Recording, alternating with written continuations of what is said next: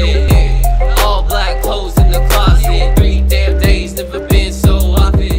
everybody.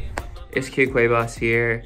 Today I want to talk about how I just started my OnlyFans. You can expect safer work material, exclusive production series, freestyles in full. I usually just post little clips on my gram.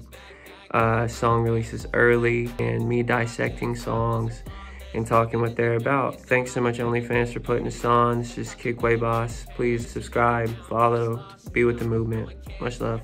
Peace. I've been smoking out it ain't dual face, twist, twin pistols on Put my brain in the bliss, it'll cut me right